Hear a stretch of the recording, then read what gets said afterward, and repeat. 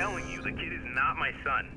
But she says that you're the one. I only slept with her once, without protection. And it was at her urging.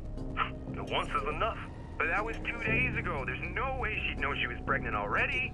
Do you have any idea how that works? Sure, I... Actually, I never really thought about it. They can't just know right away.